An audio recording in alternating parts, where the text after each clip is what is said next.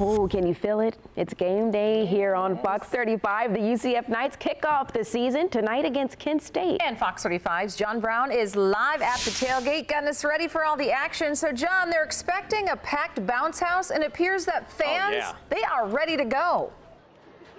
Yeah, and you can see everybody starting to go in right now. You can see this gang. They've been I've been hanging out with these guys all day. Thank you guys for letting me hang out. So they're getting ready to head into the game. We got more people over there. They're going in. That's 50,000 strong going to be packing the bounce house tonight. But the reason why we're out here with the Fox 35 Storm Team Thunder Truck is I want to show people the field.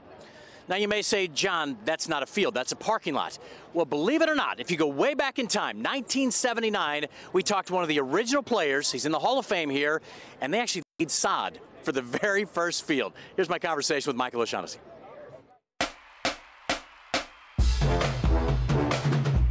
Michael, good to see you. Thanks for meeting hey, us out John. here today.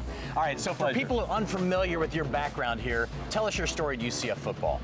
Like a lot of people, walk-on football player, 1979, original football team member, one of the 79ers. Love my Knights. Love love those old days. Quite different from today, John. Yeah, you see this field out here, but you told me you guys actually laid down the field when you first started. John, Explain that. John, story. our first practice, we literally were called to lay pallets of sod to create our first football field on the other side of the uh, campus. Our second field was sand and sand spurs.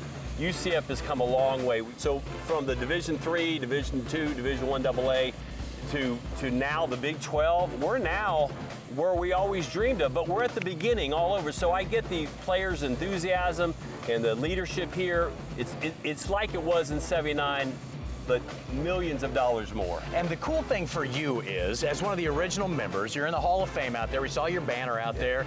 The better the team does, the better your resume oh, looks. Oh, absolutely. What are so you kidding me? I, I played for, for, I played for UCF. I played for UCF. I didn't, you know, we don't get into, I, we played against St. Leo or Maryville or somebody like, like that. Absolutely. You know, everybody, everybody that, that poured their sweat and their blood on these fields they feel the growth and they get that value, you know. So we just love our Knights. All right. Yeah, we love our Knights. Michael, thanks, man. Yeah. Appreciate you coming out here today. yeah, All right. yeah, thank you, man. Yeah, take care. Go Knights. And you guys, what's so cool about this, uh, Luana Marlisa, is I've covered the team for several years on a peripheral level, right? So I'm not in there with them, but I get to feel the vibe of the players and the coaches and, and the fans. And I got to tell you, since this move to the Big 12, it is different. The hype is different, the facilities are different, the way they play the game is going to be different. So yeah, there's a lot to be excited about, and it all starts tonight. And they're like a 36-point favorite over Kent State, so it should be a fun game to watch. I will tell you that. We'll send yeah, it back John, to you guys. I was studio. reading on our Fox 35 Facebook page, the food is also going to be different. They have different foods depending on who they're playing at home. And we were talking, they have a donut cheeseburger. I told John to get yeah. some yes, tonight yes. and bring them back. Okay. So I'm going to take you way back in time. Luann and I went to uh, the Volusia County Fair several years ago, and that's where we first tried the Krispy Kreme burger. And you might think, wow, Krispy Kreme, two Krispy Kremes and a burger.